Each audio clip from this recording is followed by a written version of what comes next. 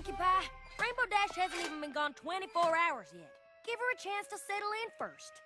Why don't we just go see what Twilight's up to? I hear Princess Celestia's got her working on some new spells. New spells, huh? Okay.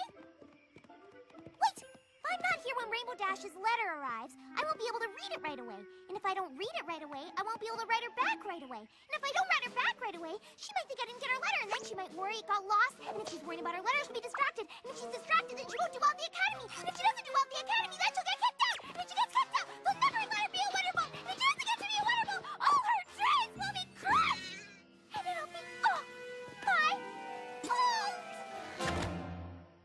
So, in other words, you're sticking by the mailbox. Yep. Suit yourself.